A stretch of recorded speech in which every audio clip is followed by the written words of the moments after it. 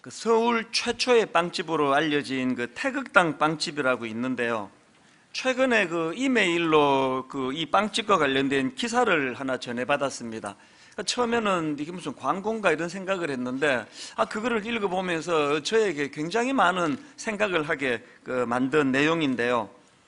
제가 그 기사에서 주목하는 게 뭐냐 하면 이 태극당 빵집이 이제 한때는 굉장히 위기를 맞았다는 거예요. 막 매출이 떨어지고 이제 관심에서 멀어지는 그런 위기를 맞았는데 그 창업주의 손자가 운영을 맡으면서 다시 옛날의 그 명성을 회복하게 되었다. 그런 요지의 내용인데 그 제가 주목한 게 뭐냐 하면은 그렇게 침체에 빠졌던 그 빵집이 회복하게 된 그 출발이 바로 그 창업주의 손자가 이 침체에 대한 자각이 있었다. 이 침체에 대하여 위기감을 느끼게 되었다. 이것으로 시작을 했다는 겁니다.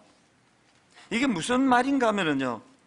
그 손자 입장에서는 그 할아버지가 만든 그 빵집이 늘 막 그냥 손님이 북적거리고 늘 잘 되고 그런 것으로 늘 생각을 했는데 2012년도에 그 손자가 그 빵집 카운트를 보기 시작했는데 아, 거기서 충격을 받은 겁니다.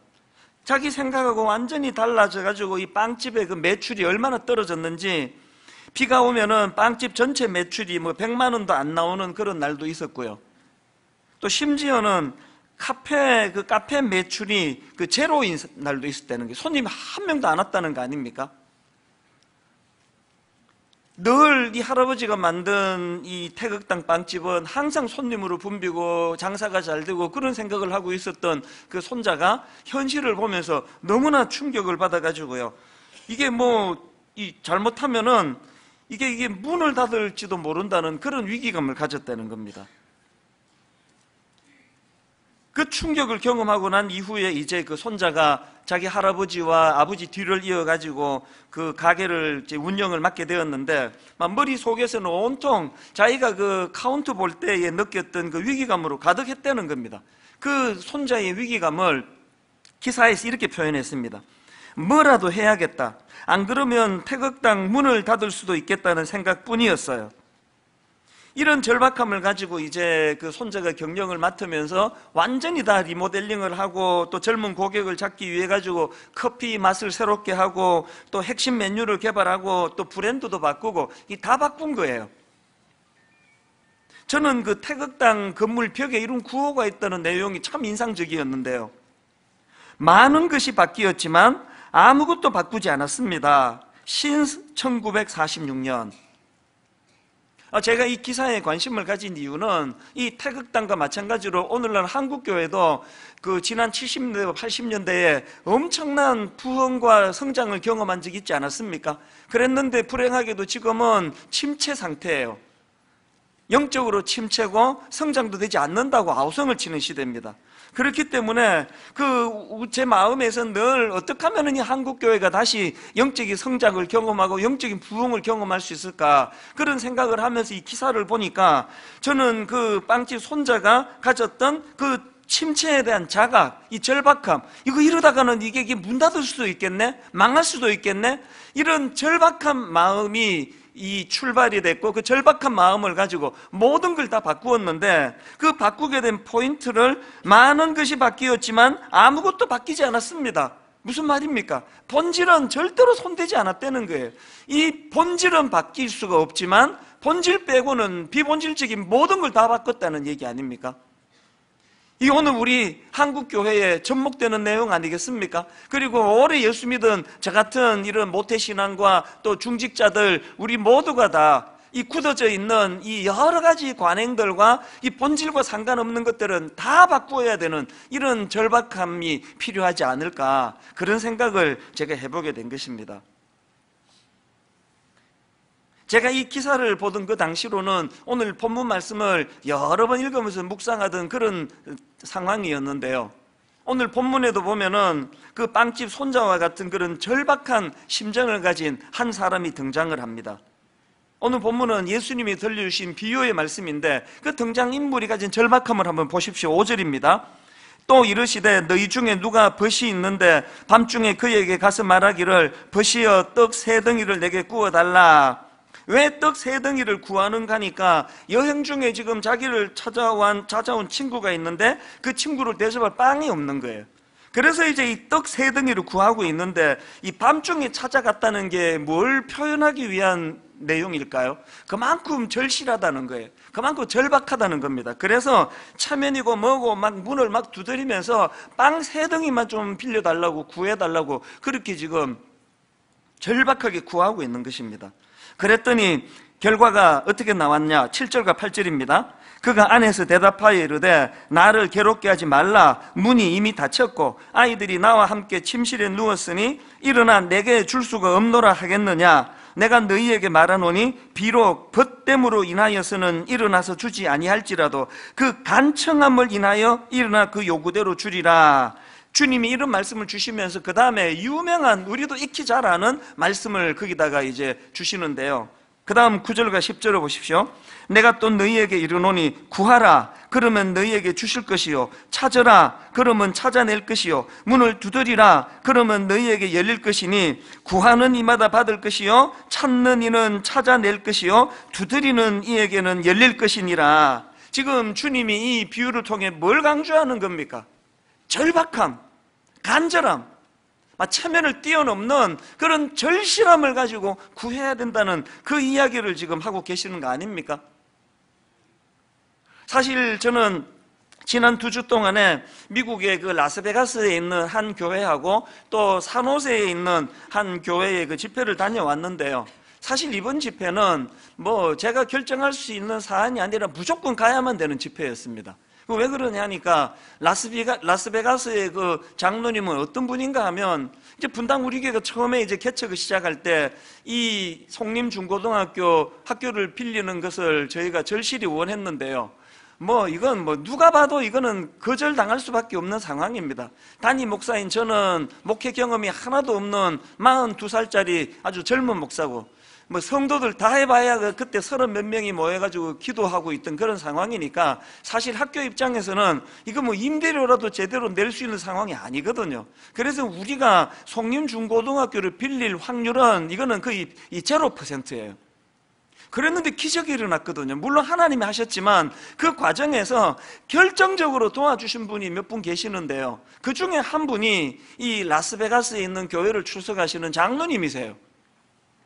이 장로님이 한국 방문을 오셔가지고 나 좀 만나자 그러고 오셔가지고는 이제 저 당신 교회에 와서 집회를 좀 해달라 그러는데 그걸 제가 어떻게 거절합니까? 이런 엄청난 사랑의 빚을 지고 있는 입장에서 제가 그걸 거절할 수가 없잖아요. 그래서 뭐 무조건 가겠다 그랬죠. 빚 갚는 마음으로. 그렇게 이제 이번에 미국 집회를 그 갔었는데요. 사실은 뭐 연초에 그 자리를 비우는 게 저한테도 큰 부담이었고 그러나 뭐 이거는 어쩔 수 없다 난 빚 갚으러 가야 된다. 그렇게 의무감을 가지고 갔는데요. 이번에 뭐 얼마나 제가 영적으로 공급을 받고 충전이 되고 은혜를 받았는지 모릅니다. 그 왜 그러냐 하니까요. 여러분이 다 아시지만 그 라스베가스라는 지역은 그 한국 교민이 많이 사는 곳이 아니에요. 그러다가 보니까 다들 이제 그 성도들이 목말라 하고 있다는 겁니다 그 저를 초청한 라스베가스의 그 교회도요, 성도님들이 한 80여 명 모이는 그런 교회인데, 놀랍게도 300명이 넘게 모였다는 겁니다. 그러니까 뭐 막 은혜 받고 싶어서 내 교회고 남의 교회고 상관하지 않고 막 모여든 거예요. 그 제가 들어보니까 그 샌디에고라는 지역에서 부부가 막 은혜 받고 싶어 가지고 아예 이쪽으로 먼 이 라스베가스로 와가지고 3일 동안 호텔에서 묵으면서 그렇게 집회에 참석했다는 겁니다. 그러니까 뭐, 뭐 분위기가 얼마나 뜨거웠겠습니까? 그건 그 다음 주에 있었던 산호세 교회에서의 집회도 마찬가지예요. 아, 제가 참 감동을 받았던 게요. 너무너무 갈급하니까 성도님들이 그 어떤 성도님은요 앞자리에 와서 은혜 받아야 된다 말씀은 앞에서 와서 들어야 된다 그래가지고 저녁 7시 반에 예배가 시작이 되는데 4시, 오후 4시쯤부터 와서 앉아서 그것도 그, 그 중학생, 중학교 다니는 어린 딸을 데리고 오셔 가지고 저녁도 굶고 막 그런 분이 막 꽤 많았다는 거예요. 그러다가 보니까요. 그 산호세 교회는 본당이 뭐 굉장히 큰 교회인데 7시 반 집회인데 6시 반에 벌써 다 만석이 다 됐다는 겁니다. 그러면 집회 내내 들리는 이야기가 우리 교민들이 막 얼마나 지금 목마른지 모른다고 막 은혜 받지 않고는 안 되는 견딜 수 없는 마음을 가진 분이 많다고 막 그 얘기를 계속 제가 그 듣게 되었는데요. 그러면서 저는 분당 우리 교회를 다니면은 목사니까 이런 면에서 우리 교회는 문제가 없는가? 우리에게는 그 강청하는 그 떡 세 덩이가 지금 절실히 필요해서 강청하는 예수님의 비유에 나오는 그 사랑과 같은 절실함이 우리에게 있는가? 계속 그 생각이 드는 겁니다. 여러분 겉으로 보기에 뭐 아무리 좋은 걸 다 갖춘 교회라고 해도요 이런 영적인 목마름이 없는 교회라면 그건 주님 보시기에 좋은 교회가 아닙니다 여러분이 잘 아시는 요한계시록에 나오는 라오디게아 교회를 향한 주님의 책망을 그 무서운 책망을 한번 보십시오 요한계시록 3장 17절 내가 말하기를 나는 부자라 부요하여 부족한 것이 없다 하나 내 곤고한 것과 가련한 것과 가난한 것과 눈먼 것과 벌거벗은 것을 알지 못하는도다. 전 두려운 거예요. 그 80명밖에 모이지 않고 교민이 얼마 되지 않아 가지고 너무너무 갈급해. 또 어떤 교회는 뭐 그 미국 교회를 빌려서 예배를 드리고 갖춘 게 아무것도 없지만 그 성도들이 어떻게 해서든 은혜 받으려고 하는 그 갈급함을 갖고 있다면 하나님의 관점으로 그 교회는 부유한 교회예요.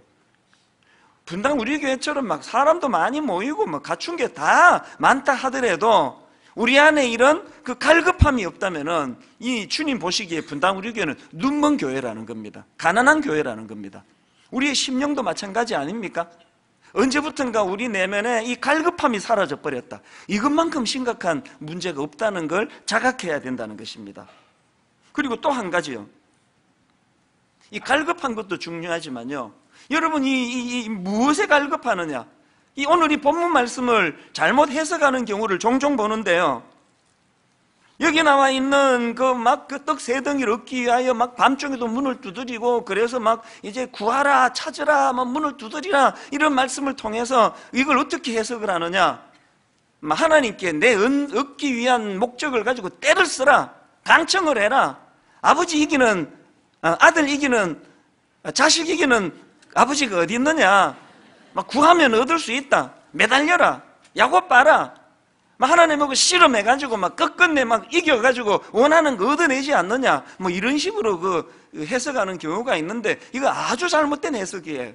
이거 얼마나 그 불경한 해석입니까? 하나님이 그냥 우리가 하나님 손에 그 떡 얻어내기 위하여 막, 막 집요하게 매달려가지고 그거 뜯어내는 것을 원하시는 분입니까? 그거 아니거든요. 오늘 본문에서의 강청은 그런 뜻이 아닙니다. 정반대예요. 성경을 제대로 해석하려면 그 전후 문맥을 보셔야 되는데요. 이 본문의 출발이 어떻게 시작이 되느냐? 배경이 이렇습니다. 자, 누가복음 11장 1절을 보십시오. 예수께서 한 곳에서 기도하시고 마치심에 제자 중 하나가 여짜오되 주여 요한이 자기 제자들에게 기도를 가르친 것과 같이 우리에게도 가르쳐 주옵소서 그래서 지금 이 기도를 가르쳐 달라는 그 제자의 그 요청에 주님이 어떻게 응답해 주시느냐. 우리가 익히 잘 아는 주기도문을 주십니다. 2절부터 보십시오. 예수께서 이르시되 너희는 기도할 때에 이렇게 하라. 아버지여 이름이 거룩 여김을 받으시오며 나라가 임하시오며 우리에게 날마다 일용할 양식을 주시옵고 우리가 우리에게 죄 지은 모든 사람을 용서하오니 우리 죄도 사하여 주시옵고 우리를 시험에 들게 하지 마옵 마시옵소서 하라. 기도를 가르쳐 달라는 그 제자의 요청에 대하여 주님이 주기도문이라는 굉장히 중요한 기도문을 주시고는 그리고 그 다음에 나오는 게 오늘 본문에서 이 간청에 대한 내용입니다. 그리고 이 간청에 대한 내용의 그 마지막 결론이 어떻게 내려지는지 아십니까? 13절이 그 주님 간청 기도의 중요성을 비유로 드신 그 모든 것의 그 마무리예요. 결론이에요. 13절을 보십시오. 너희가 악할지라도 좋은 것을 자식에게 줄줄 알거든 하물며 너희 하늘 아버지께서 구하는 자에게 성령을 주시지 않겠느냐 하시니라. 그러니까 이 본문 말씀의 포인트가 뭐냐? 우리가 삶 속에서 이 주님께서 가르쳐 주신 이 주기도문을 구현해내야 되는데 우리는 그런 실력이 없다는 거예요 그뭘 구해야 되느냐? 그 주님 손에 들려져 있는 떡 세 덩이를 얻어내는 게 아니라 뭘 구해야 돼요? 주님이 가르쳐 주신 그 기도문을 잘 이해하고 깨달을 수 있도록 그리고 깨달은 그것을 우리는 삶 속에서 살아낼 수 없기 때문에 그것을 가능하게 하시는 성령님을 구하기 위하여 강청하며 기도하라는 거예요. 성령을 주시옵소서. 기도는요, 내가 의도하는 그 무엇을 받아내기 위하여 하나님의 뜻을 꺾는 게 기도가 아니에요. 반대입니다. 기도는 철저하게 하나님의 뜻을 구하고 그 하나님의 뜻을 삶 속에서 잘 구현할 수 있도록 성령님을 구하는 게 그게 기도라는 거예요. 오늘 교회를 들여다보면은 너무나 혼란하고 혼미한 거예요. 왜? 주님이 샘플로 주신 기도문은 온데간데 없고 그저 내 원하는 거, 내가 바라는 거 이거 얻어내기 위해 가지고 막 하나님을 그냥 그러다가 보니까 점점 하나님을 꼭 무슨 내가 부리는 하수인처럼 취급하는 기도를 자칫 잘못하면 드릴 수가 있다는 거예요. 그렇기 때문에 우리가 이 어떤 소원을 가지고 강청하는 기도가 기도도 필요하지만 뭘 구하느냐가 더 중요합니다. 이런 의미에서 저는 이제 좀 더 구체적으로 우리가 그 주님께 무엇을 간청해야 하는지 이런 부분을 좀 살펴보고 싶은데요. 여러분 우리가 무엇을 간청할 것입니까? 첫째로요. 교회 공동체의 정체성과 사명의 회복을 놓고 간청해야 돼요. 이게 무슨 말씀이냐? 자, 본문 1절에 그 제자의 요청을 다시 한번 주의 깊게 보십시오. 예수께서 한 곳에서 기도하시고 마치심에 제자 중 하나가 여짜오되 주여 요한이 자기 제자들에게 기도를 가르친 것과 같이 우리에게도 가르쳐 주옵소서 지금 그 한 제자가 예수님께 기도를 가르쳐 달라고 하면서 무슨 부연의 그 부탁을 드립니까?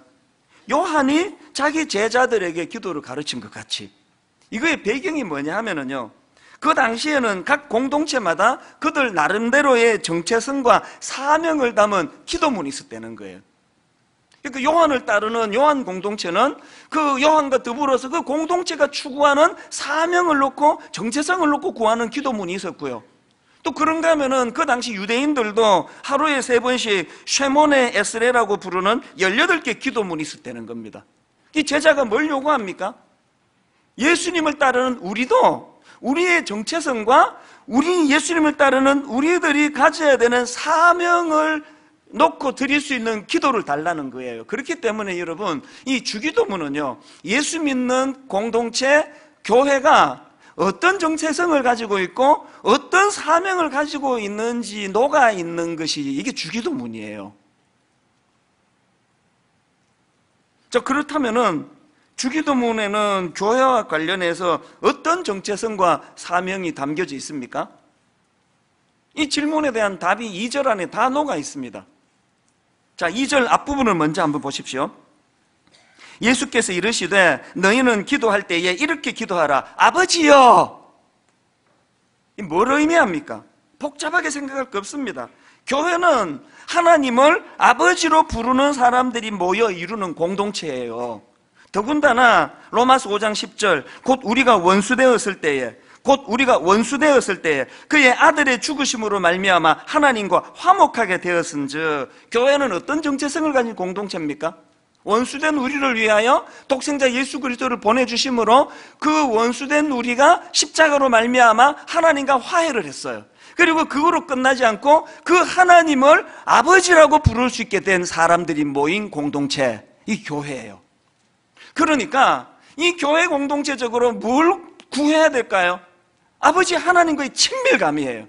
막 교회가 규모가 아무리 크고 막 목사가 뭐 아무리 달변가를 하더라도 아무리 설교를 잘한다 잘한다 그런 소리를 들어도 설교자인 목사가 성도님들과 하나님 사이에 그이 이, 이 친밀감 하나님을 아버지라고 부를 수 있는 이 친밀감을 강조하지 않으면 그건 좋은 설교가 아니에요. 이런 면에서 분당 우리 교회는 좋은 교회입니까? 여러분 이 교회는 하나님을 아버지라고 부를 수 있는 사람들이 모였다고 한다면 여러분 하나님 앞에서 우리는 하나님과의 그, 그 친밀감이 인티머시라는 단어를 저는 굉장히 중요하게 생각하는데요 이 하나님과의 친밀감이 문제가 없습니까 여러분은? 엿새를 이 세상에 발을 딛고 살아가지만 늘 내 마음에 십자가를 통하여 하나님께서 내 아버지가 되신다는 사실, 그분과의 교제를 나누고 그분과의 친밀감을 가지고 살아가는 이런 부분에 있어서 문제가 없습니까? 요수와 1장에 보면은 그 유능한 지도자 모세는 죽고 아무 경험이 없는 애송이 같은 젊은 요수아가 후계자로 이제 세움을 받았는데 벌벌벌벌 떨고 있는 상황에 하나님 주신 메시지가 뭡니까? 요수아 1장 5절 내 평생에 너를 능히 대적할 자가 없으리니 내가 모세와 함께 있었던 것과 같이 너와 함께 있을 것입니다 내가 너를 떠나지 아니하며 버리지 아니하리니 이 점에서 모세가 얼마나 위대한가 하면은요 자, 출애굽기 33장 17절, 18절 이 부분을 세 번 역으로 한번 보시겠습니까? 주님께서 모세에게 말씀하셨다. 무슨 말씀을 주시는지 보세요. 내가 너를 잘 알고 또 너에게 은총을 베풀어서 네가 요청한 이 모든 것을 다 들어주마. 그랬더니 모세가 어떻게 반응하느냐? 18절. 그때의 모세가 저에게 뭘 달라는 거예요? 주님의 영광을 보여주시옵소서. 오늘 교회 공동체가 구해야 되는 게 뭐예요? 그 떡세 덩이가 뭐예요? 부자 되는 거? 뭐 우리 아들 좋은 대학 가는 거? 막 사람들 앞에서 막 엄청난 어떤 명예를 누리는 거? 모세는 그런 거 구하지 않았습니다. 교회 공동체는 뭘 구해야 됩니까? 하나님 아버지를 구해야 돼요. 그분을 아버지라고 부를 수 있게 만들어 주신 예수 그리스도의 십자가를 소중히 여기고 원수되었던 우리가 하나님과 화해한 존재가 되어 그분이 내 안에서 일하시고 계신다는 거. 그래서 우리가 남자분 보고 형제님 이렇게 부르자. 우리가 무슨 피가 섞였습니까? 형제는 무슨 형제예요? 여, 여, 여, 여성도들을 보고 자매님 이렇게 부를 수 있는 게 뭐예요? 십자가로 우리는 한 하나님을 아버지로 모시게 됐다는 것을 표현하는 공동체의 모습 아닙니까? 여러분은 무엇을 구하고 계세요? 무엇에 목말라 계세요?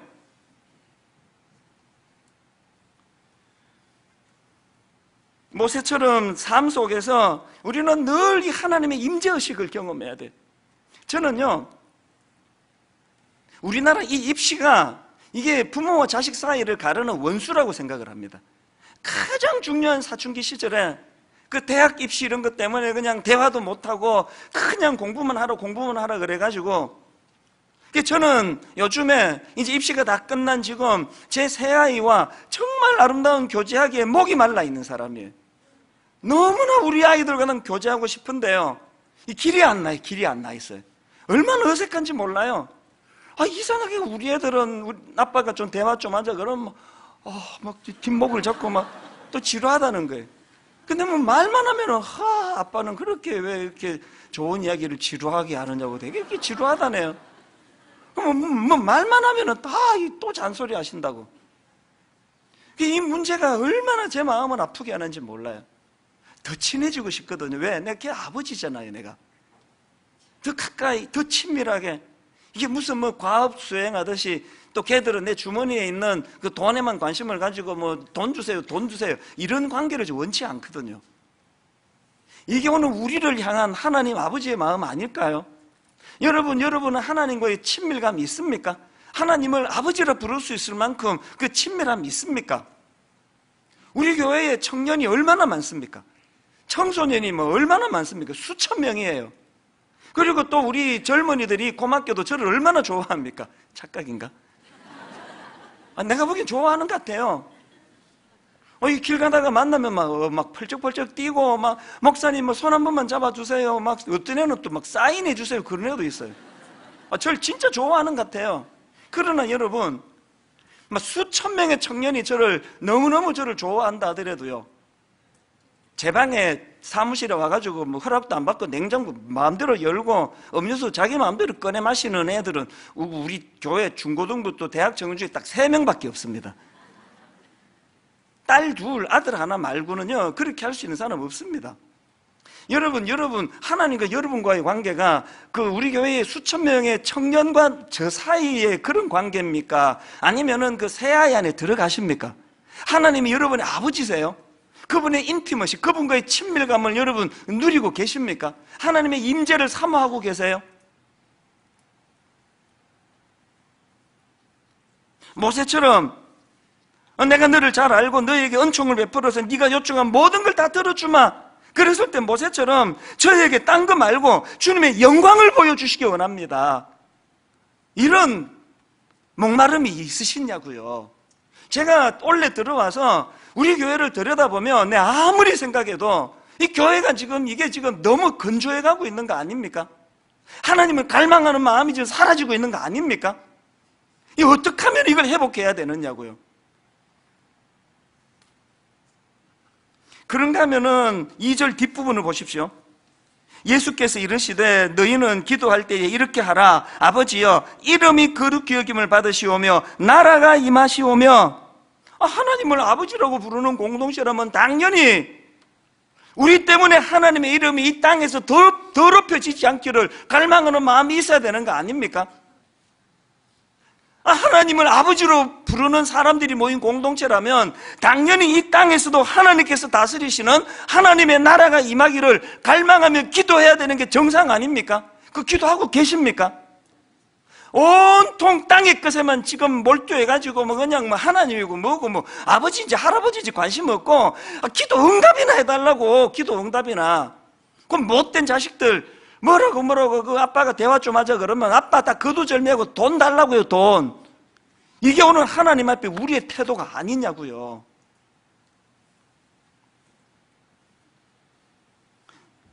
누군가가 그 우루과이의 그 어느 성당 벽에다 이런 기도문을 써놓았다고 합니다. 주기도문을 빗대 가지고 이제 그 경종의 그 글인데요. 앞부분만 좀 읽어드릴게요. 하늘에 계신 이걸 따옴표하고요. 이렇게 글을 썼습니다. 하늘에 계신이라고 기도하지 말라. 세상 일에만 관심 두고 있다면 또 따옴표에서 우리라고 말하지 말라. 너 혼자만을 위해 살고 있다면 또 아버지라는 데 따옴표를 하고요. 아버지라고 부르지 말라. 아들, 딸처럼 살고 있지 않다면 뒤에도 쭉 열거가 되는데 저는 이 대목이 굉장히 마음에 와닿았습니다. 세상 일에만 몰두하고 세상 일에만 관심을 가지면서 말로만 입으로만 하늘에 계신 우리 아버지라고 그렇게 말하지 말라는 거예요. 제가 참 이 대목이 부끄러운 게 이걸 내가 얘기를 안 하려고 안 하려고 애를 썼는데 고백을 하지 않을 수 없습니다. 제가 이번에 그 라스베가스 집회를 위해서 이제 저녁 비행기를 타고 갔는데요. 뭐 어쩌다 좀 늦었습니다. 그래서 어 그 공항에 딱 갔더니 손님이 아무도 없어요. 다 들어가고 아무도 없어요. 제가 그 앞에 있는 직원한테 아니 이게 손님이 왜 이렇게 없습니까? 그러니까 다 들어갔다는 거예요. 아, 그러면서 그 직원이 이제 이렇게 이렇게 뭐 컴퓨터를 만지고 하더니 아, 저에게 놀라운 복음을 전했어요. 여기서 복음은 그 우리가 아는 그 복음이 아닙니다. 기분 좋은 소식이에요. 어, 뭐라고 얘기하는가 하니까 아, 이번 지금 비행기가 만석이라는 거예요. 그래서 저보고 하는 말이 비즈니스석으로 업그레이드를 시켜주겠다는 거예요. 그 이야기가 들리는 순간 하늘 문이 열리고 성령이 비둘기같이 임하면서 막 평화가 물밀듯 밀려오는데요. 막, 와, 기분이 좋아막 죽을 것 같아요. 야, 이게 비즈니스석 타면은 누워서 안 되는데, 아, 비즈니스석 타면은 라면도 막 끓여준다는데 막 이런 생각이 들면서 그 직원 앞에서는 뭐 별로 뭐 그 대수롭지 않은 듯이 이렇게 그 감추는 게 진짜 힘들었습니다. 그리고는 그 카운티에서 일이 다 끝나고 막 바로 우리 집사람한테 전화해가지고 기적이 일어났어 여보 그러면서 막 비즈니스석으로 내가 갈아타 업그레이드가 됐다고 비즈니스석에서 막 라면도 주는데 누워서 가는데 그러니까 그쪽이 또 한술 더 떠더라고요. 그 아이스크림 준다는데 그잘 챙겨서 드세요 그러면서 그 2등석에서 주는 그, 그 하겐다츠 아이스크림 그 챙겨서 드시라 그러고 막 그래서 막, 막 좋아 죽겠는 거예요. 막 그래가지고 막 한 시간 가까이 막 너무너무 기뻤는데 정신이 좀 차려지고 나니까 이게 너무 부끄러운 게 뭔지 아십니까? 요즘에 제가 하나님의 임재 의식에 대해서 많이 묵상을 하고 그때도요 하나님의 임재에 대해서 어떻게 하면은 내가 광야를 걸어가든 옥토를 걸어가든 주님과의 동행 임재 이거를 굉장히 묵상을 했는데 그 여 그 여직원이 업그레이드 시켜주겠다고 비즈니스적으로 업그레이드 시켜주겠다는 그 이야기가 들려지는 순간 뭐 임재고 뭐고 뭐 관심도 없고 누워서 간다는 생각 때문에 막 좋아 죽겠더라고요. 더 웃기는 게 뭔지 아세요? 그게 진짜 누워서 갔거든요. 누워서 가는 내내 든 생각이 뭔지 아세요? 올 때도 이래야 되는데.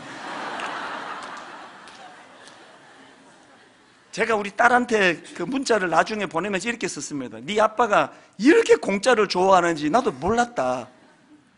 뭐 목사고 뭐고 없습니다. 그저 우리는 그냥 뭐 땅에서 잘 되고 뭐 땅에서 이렇게 편하게 가고 뭐, 뭐 누워서 가고 뭐 사람들에게 뭐 설교 잘한다고 인정받고 뭐 교회 큰 것 때문에 이런데 우리는 본능적으로 끌리게 돼 있는 존재예요. 어쩔 수가 없습니다. 그래서 어떻게 해야 된다고요? 간청 기도를 드려야 돼. 간청 기도. 그래서 우리가 하나님 앞에 구해야 된다는 겁니다. 그런가 하면은 두 번째로 우리가 무엇을 간청해야 되느냐? 성령 충만을 간청해야 된다는 겁니다. 제가 앞에서 말씀드린 것처럼 오늘 본문의 최종 결론이 13절이거든요. 너희가 악할지라도 좋은 것을 자식에게 줄줄 알거든 하물며 너희 하늘 아버지께서 구하는 자에게 성령을 주시지 않겠느냐. 이 성령 충만을 구하라는 거예요. 왜? 아무리 주님이 주기도문 우리에게 주셔서 삶의 지침으로 주셔도 우리는 그것을 깨달을 수 있는 능력이 없고요. 그걸 깨닫는다 할지라도 그 삶 속에서 그것을 구현할 실력이 없는 존재예요. 제가 방금 부끄러운 고백을 했잖아요. 하나님 나라를 구하고 하나님의 영광을 구하는 일이 땅의 것 구하는 것보다 훨씬 어렵기 때문에 성령 충만하고요. 성령 충만. 그 니한테서 나오는 게 아니다. 그래서 성령 충만을 구해라. 누가복음 24장에 보면은 이제 예수님께서 제자들과의 마지막 만남, 승천하기 전에 마지막 만남이 기록되어 있는데요. 그때 주시는 말씀이 진짜 의미가 있습니다. 누가복음 24장 45절부터 한번 보십시오. 이에 그들의 마음을 열어 성경을 깨닫게 하시고 또 이르시되 이같이 그리스도가 고난을 받고 제3일에 죽은 자 가운데서 살아난 것과 또 그의 살아날 것과 또 그의 이름으로 죄 사함을 받게 하는 회개가 예루살렘에서 시작하여 모든 족속에게 전파될 것이 기록되었으니 너희는 이 모든 일의 증인이라 잘 들어보세요. 예수님이 제자들이 그 예수님의 증인으로서의 삶을 살 수 있도록 말씀을 깨닫게 해주세요. 성경을 깨닫게 해주십니다. 근데 그게 다가 아니고요. 뭘 더, 하나 더 강조하는 게 뭐냐? 바로 그 다음 49절을 보십시오. 볼지어다 내가 내 아버지께서 약속하신 것을 너희에게 보내리니 너희는 위로부터 능력으로 입혀질 때까지 이 성에 머물라 하시니라. 무슨 뜻입니까? 정인의 삶을 살기 위해서 말씀의 깨달음도 중요한데 그 갖고는 안 된다는 거예요. 말씀의 깨달음에다가 위로부터 능력이 덧입혀지는 다시 말해 성령의 충만함을 입어야 된다는 겁니다. 오늘 말씀에 깨달음이 많이 있는데 성령의 충만함이 없다면 그건 옳은 그리스도인의 자세가 아니에요.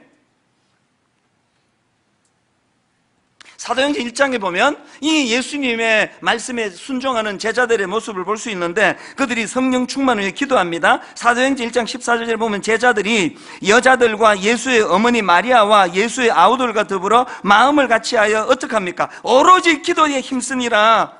사도행전 1장에서 오로지 기도에 힘쓰니라는 이 주님 말씀에 순종했기 때문에 사도행전 2장에서 전무후무한 강력한 성령의 역사가 일어나는 거예요. 다시 말씀드립니다. 부끄러운 고백이지만 제가 아무리 봐도 분당 우리 교회가 17년 전에 그 초심을 잘 지키고 있는 것 같지 않습니다. 이게 지금 라우디게아 교회가 돼가고 있는 거 아닌가 두려움이 저에게 있습니다. 다 갖추었는데 여러분 정말 하나님 아버지로 목마르세요?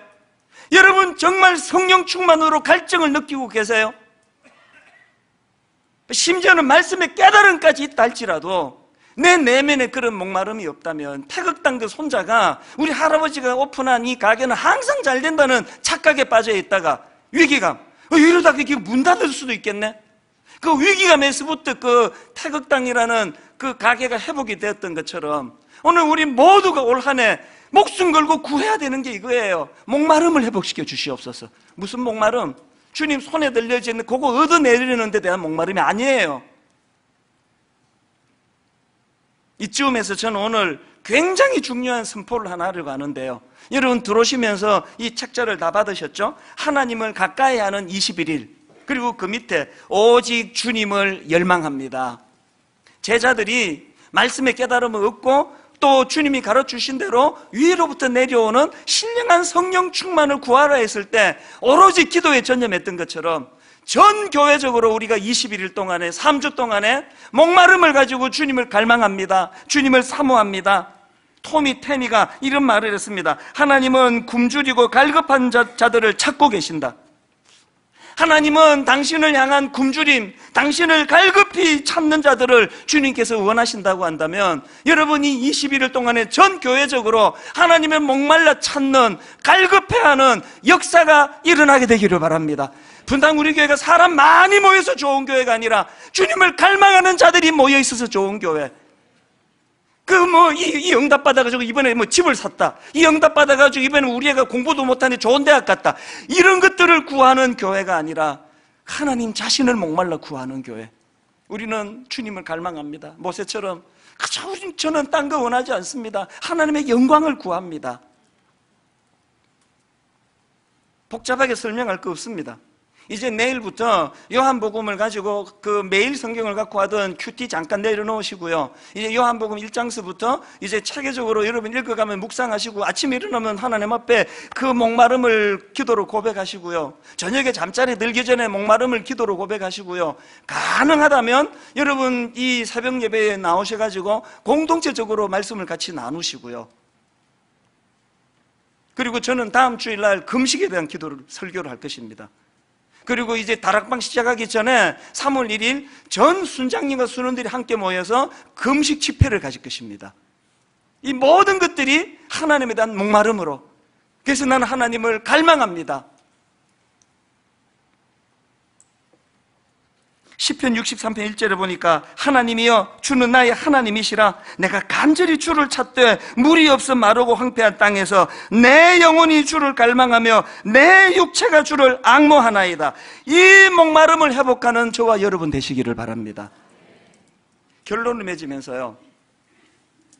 오래전에 어떤 교역자가 저에게 강의 하나를 동영상을 보내왔는데 이것도 신기해요 아니, 안, 그, 볼 시간이 없었습니다. 안 보고 있었는데, 어제 오후에 제가 이걸 봤네요. 얼마나 많은 느낌, 깨달음을 받았는지 모릅니다. 어느 교수님이 강의한 동영상인데요. 그 강사가 이제 무슨 얘기를 하느냐, 그 사막이나 오지를 레이싱하는 그 모험가를 만나 대화를 나누었대요. 그 모험가는요, 사하라 사막과 같은 그 사막을 막 수백 킬로 횡단하는 그런 모험가래요. 이 교수님이 그 모험가에게 물었답니다. 사막에서는 무엇 때문에 죽습니까? 무엇으로 죽나요? 이 질문할 때는 뭐 아, 정갈에 물려 죽고 뱀에 물려 죽고 이런 생각을 했는데 좀 다른 이야기를 하더래요. 사막에서 죽는 사람들이 주로 뭘로 죽느냐? 탈수로 죽는 탈수. 그 이상한 이야기를 그 다음에 해요. 그런데 그 죽어가는 사람들 상당히 많은 사람들이 물이 있다는 거예요 물통에. 물통에 물이 있는데 왜 탈수로 죽습니까? 이상하잖아요. 그 모험가가 덧붙이 이런 이야기를 했답니다. 왜 물이 있는데 탈수로 죽느냐? 여러분 아시지만 그 사막이 너무 뜨겁지 않습니까? 건조하지 않습니까? 막 한 45도까지 오르고 그러니까요. 막 너무너무 장렬하는 태양에 건조하니까요. 이 땀이 흐르면은 바로바로 말라버린대요. 우리가 여름에 막 땀 흘리고 하면 어 이거 물로 보충해야 되겠네 자각이 되는데요. 사막을 횡단할 때는 땀이 안 나니까 바로바로 식으니까 인식을 못 한다는 게 지금 사실은 몸에서 지금 많이 땀으로 배출돼서 탈수가 일어나는데 못 느낀다. 그러다 죽는다는 거예요. 그래서 그 교수님이 그 모험가에게 다시 물었답니다. 그럼 대안이 뭡니까? 어떻게 하면은 사막에서 목마름으로 죽지 않고 살아남을 수 있습니까? 그랬더니 의외로 간단한 대답을 했습니다 자기가 느끼는 목마른 거, 목마른 거 상관없이 일정한 시간을 정해놓고 마셔야 된다는 거예요. 일정한 보폭을 따라 목이 느, 목마름이 느껴지지 않더라도 일정한 거리를 걷고 나면 마셔줘야 된다는 거예요. 오늘 여러분, 여러분에게 지금 목마름이 느껴지지 않는 것이 그게 곧 충만하다는 걸 얘기하는 거 아닙니다. 사단이 지금 바로바로 바로 우리의 땀을 다 지금 정발시켜버려가지고 느낌이 없어요. 이게 지금 건강하다는 걸 말하는 거 아닙니다. 내가 목마름이 느껴지지 않더라도 일정한 시간을 따라 물을 마셔줘야 된다면 여러분 이제 이 하나님을 가까이 하는 21일 전 교회적으로 선포할 때에 순종하면서 아버지 내가 너무 무디어지고 주님을 갈망하는 목마름이 느껴지지 않는다 할지라도 아버지 이 3주간 21일 동안에 그리고 이제 다음 주일 선포될 금식과 더불어서 한 번 내 영혼의 목마름이 해갈될 수 있도록 영혼의 생수를 허락하여 주시옵소서 빛 좋은 개살구가 아니라 내 심령이 주님을 갈망하는 이 뜨거움을 회복할 수 있게 하여 주시옵소서. 이 기도가 전 교회적으로 선포되기를 바랍니다. 이제 오늘 여러분 이런 마음을 담아가지고 우리들의 찬양 474번이에요 죽게 가까이 날 이끄소서. 참이 목마름을 보세요. 간절히 주님만을 원합니다 간절히 주님만 원합니다. 지금까지는 주님에 의해 얻게 될 그 선물에 목이 말랐다면 이제는 그 주님 자신, 주님 자체의 목마름을 가지고 가기 원합니다. 주님은 당신을 목말라 하는 자를 기뻐하신다고 한다면 이 목마름을 제가 하나님 아버지 가지기를 원합니다. 소원을 가지고 우리 한번 이렇게 찬양하지 않으시겠습니까? 죽게 가까이, 주께 가까이 날 이끄소서 간절히 주님만을 원합니다. 채워 주소서. 주의 사랑을 진정한 찬양 드릴 수 있도록. 다시 한번 선포하기 원합니다. 죽게 가까이. 날 이끄소서 간절히 주님만을 원합니다. 주님만을 원합니다. 채워 주소서. 무엇을요? 주의 사랑을. 진정한 찬양 드릴 수 있도록. 목마른 나의 영혼. 주를 부르니 나의 마음 만져주소서. 만져 주소서 주님만을 원합니다. 더 원합니다. 나의 맘 만져주소서. 목마른 나의 영혼. 목마른 나의 영혼. 주를 나의 마음 만져주소서. 만져 주소서 간절히 선포합니다. 주님만을 원합니다. 더 원합니다. 나의 마음 만져주소서 만져 주소서. 다시 강조합니다. 우리는 주님께서 가르치신 기도 이게 뭔 뜻인지 잘 모릅니다. 알아도 그 구원할 능력이 우리에게 없습니다 뭐 목사고 뭐고 뭐 여차하면은 땅에 끝에 온통 마음이 쏠릴 수밖에 없는 게 우리기 때문에 하나님 사막을 횡단하는 이 위험한 인생의 여행길에 사단이 지금 땀이 나오는 족족 다 이거를 그냥 마르게 하다가 보니까 인식을 못합니다. 내가 얼마나 위험한 상태라는 걸, 얼마나 지금 탈수 상태가 심하다는 걸, 목마름에 대한 자각이 없기 때문에 그러다가 쓰러지면 끝나는 거예요. 하나님 이번 21일 이 기간 동안에 내 영혼의 목마름을 회복시켜 주시기 원합니다. 내 영혼의 목마름을 회복시켜 주시되 하나님 자체에 대하여 하나님 당신에 대하여 나는 목마릅니다. 하나님 인생길에 저는 주님이 필요합니다. 저는 주님의 임재가 필요합니다. 이 사모함을 가지고 우리 한번더이 찬양 부를 동안에 아버지 주님의 얼굴을 구하기 원합니다. 모세처럼 다른 어떤 것이 아니라 주님의 영광을 구하기 원합니다. 우리 절실하게 사모하시면서 우리 한 번 더 이렇게 고백합니다. 죽게 가까이 날 이끄소서. 주께 가까이 날 이끄소서 간절히 주님만을 원합니다. 주님만 채워 주소서.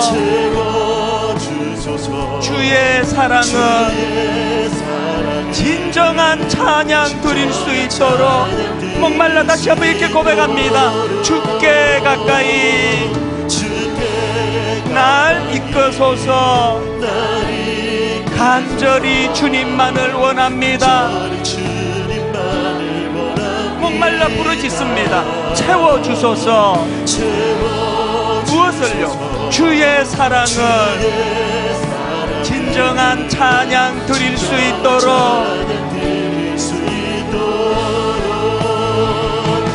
마른 나의 영혼 주를 부르니 나의 마음 만져 주소서. 주님만을 원합니다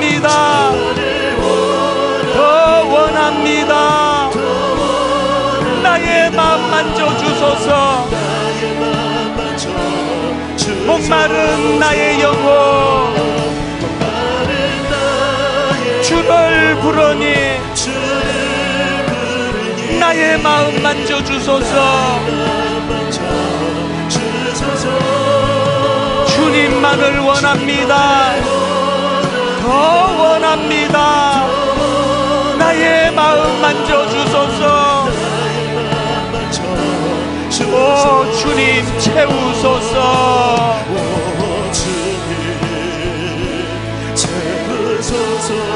나의 잔을 높이 듭니다. 하늘 양식 내게 채워주소서. 넘치도록 채워주소서 여러분 무엇에 목마르십니까? 오 주님 채우소서.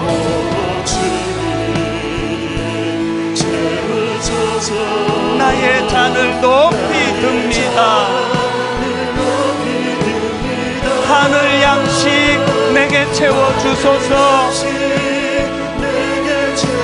넘치도록 채워 주소서.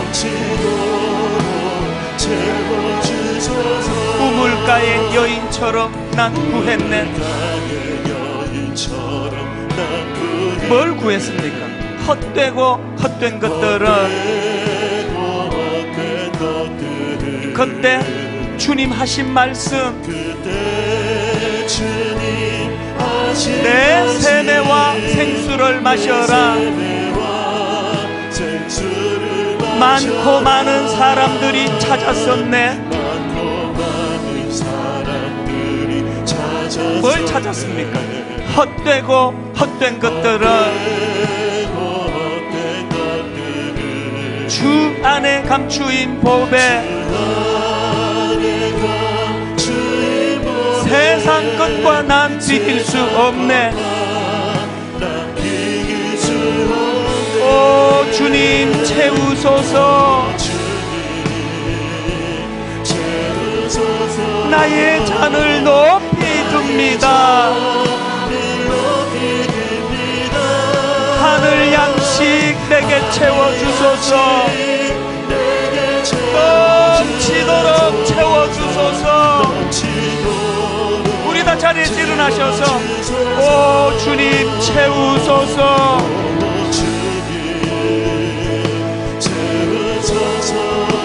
나의 잔을 높이 듭니다 하늘 양식 내게 채워주소서. 넘치도록 채워주소서. 여러분 마지막으로 하나님 앞에 목마름을 가지고 선포합니다.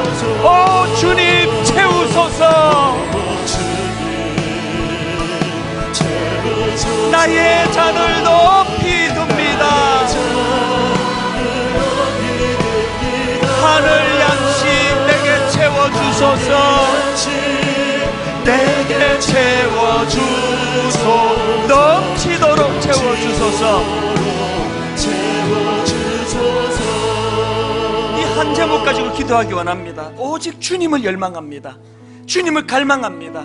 아버지 주님을 열망하는 저에게 주님 아버지 충만하게 임하여 주시기 원합니다. 성령 충만을 구합니다. 우리 한 목소리 이 시간 갈망하며 통성으로 같이 기도하시겠습니다. 살아계신 하나님 아버지 오늘 예배 가운데 임재하여 주시는 주님 오늘 공허한 내 영혼에 주님이 찾아와 주셔. 내 아버지 안에 계시는 주님께서 내 마음을 어루만지고 계셔. 오늘 우리의 공허한 마음이 사라지는 은혜를 경험하기를 원합니다. 이미 내 안에 좌정하고 계시는 성령님 그분을 근심하게 했던 우리의 죄들을 용서하여 주시기 원합니다. 오 주님을 갈망합니다 주님을 목말라 갈망합니다. 주님은 당신을 목말라 하는 자들을 기뻐하신다고 하는 이 사실을 기억하고 오 하나님 당신을 목말라 갈망하는 저희들 되게 하여 주시옵소서 하나님 이전에 구했던 것들을 내려놓고 오직 주의 영광을 구하는 자리를 나아가 있네 이전에 맛보지 못했던 그 은혜를 포기하여 주시고 이전에 경험치 못한 그 은혜를 알게 하여 주시기를 원합니다. 아버지 하나님 가까이 하는 그것이 아버지 하나님 그 친밀해지는 그 길로 나아가는 길을 아버지 알게 하여 주시고 내삶 가장 가까이 와 계신 하나님 그 주님을 알게 하여 주시옵소서. 그 주님을 더 알기 원합니다. 그 주님을 더 경험할 수 있기를 원합니다. 아버지 그분만을 해결하시는 그 생수의 그런 되시는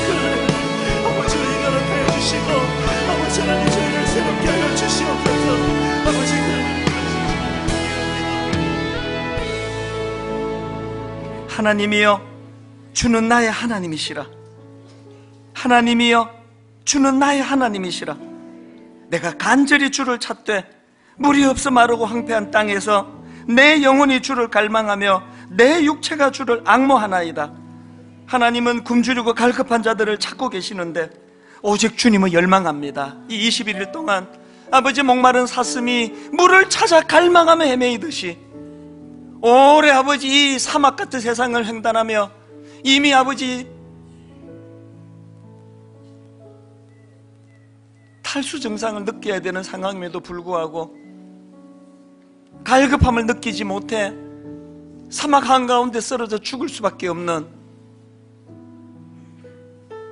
우리의 영혼이 피폐 말라 들어가기 이전에 주님을 갈망하는 이 갈망을 회복시켜 주셔서 오 하나님 아버지 주님을 갈망하는 자들에게 주시는 풍성한 은혜의 생수를 공급받기 원합니다. 부어 주시옵소서. 충만케 하여 주시옵소서. 전 교회적으로 하나님 은혜를 갈망하며 사모하며 주님 주님을 찾는 자들을 주님께서 기뻐 만나 주신다는 사실을 이번 21일 기간 동안에 경험하며 누리는 축복을 허락하여 주시옵소서.